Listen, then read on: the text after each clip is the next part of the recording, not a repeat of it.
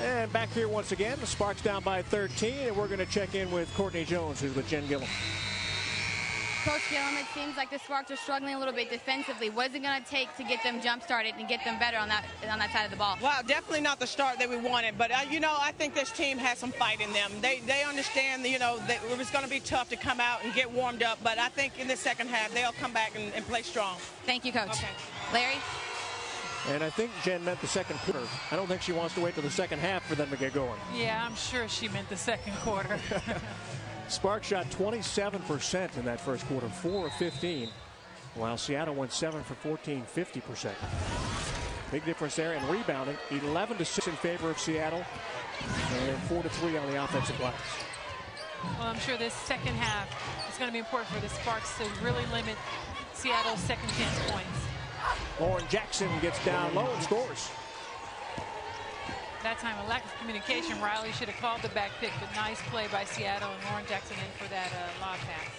Jackson's got nine, averaging 22 per game.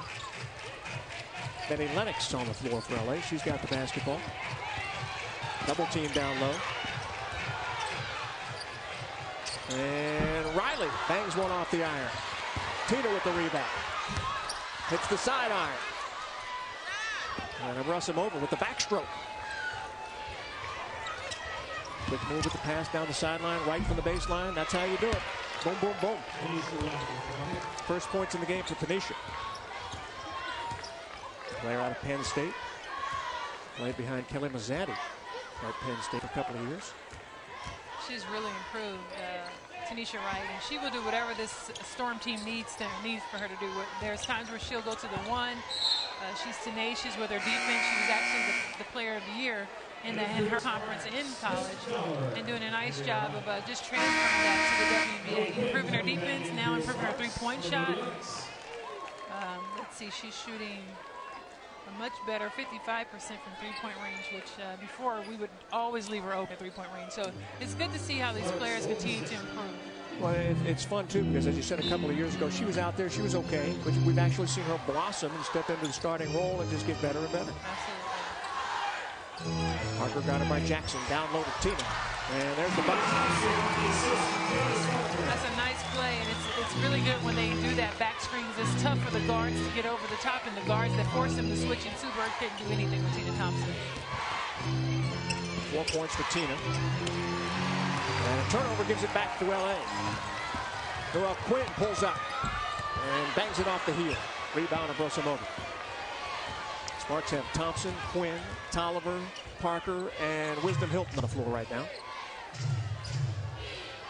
A couple of minutes gone in the second quarter. DeLisha Milton playing some D. Tanisha Wright, Lauren Jackson, Brosimova, Little, and Bird on the floor for Seattle. Missed by Wright. Here comes Toliver. Toliver getting the start tonight Ticha Penicheiro out with an ankle injury suffered in last night's loss at Phoenix.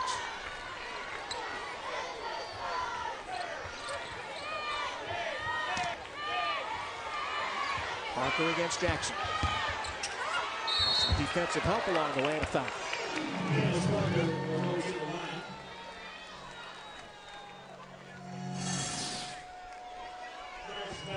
Here's a look at that play earlier where they got the inside bucket, Lisa. Well, it's a nice job. They run this pick on the baseline. Tina comes off, and right there you can see the guard forced to switch because of the good screen by Toliver, and there Tina's able to finish inside easily. Three fouls on Lauren Jackson. Candace Parker with four points in the game. Five.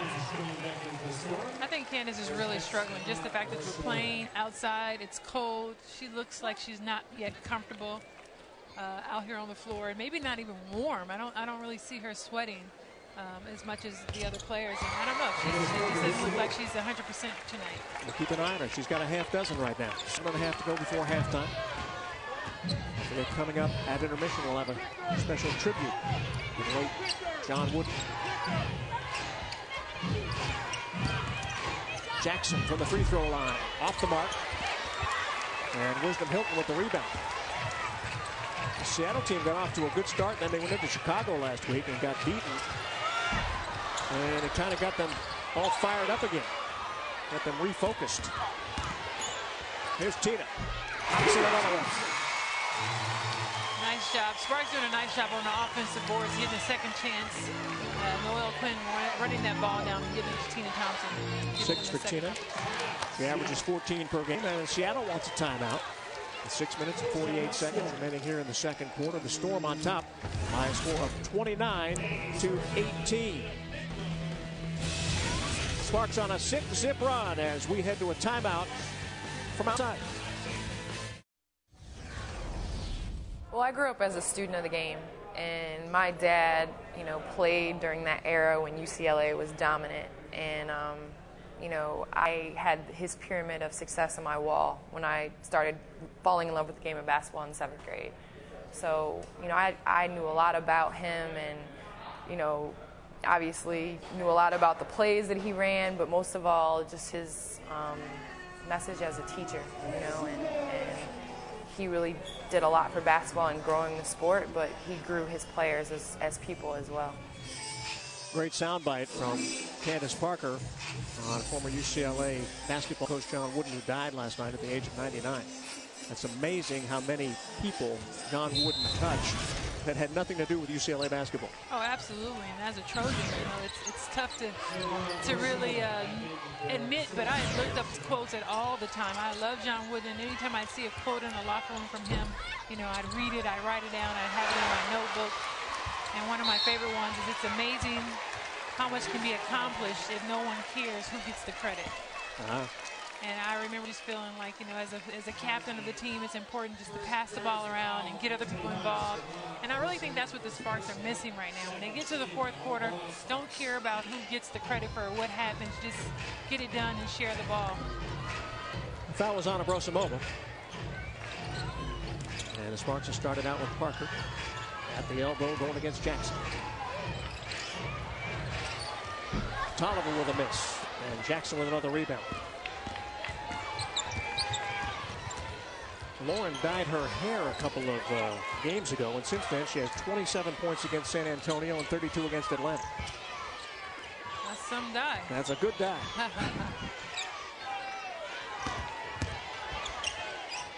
Here's Lauren from outside. Bangs it off the hardware. Rebound for Tina Thompson.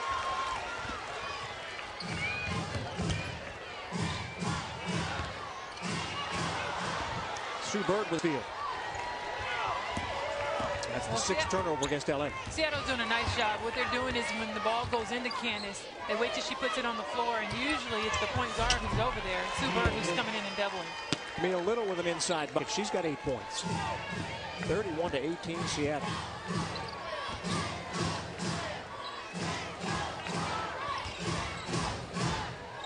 Guarded by Cash. And Parker swishes one home from the right side. Eight points for CP. And we'll tick it down to the five-minute mark remaining here before halftime. Also coming up at intermission, we'll talk with WNBA President Donna Orender, who's here from outside evening basketball.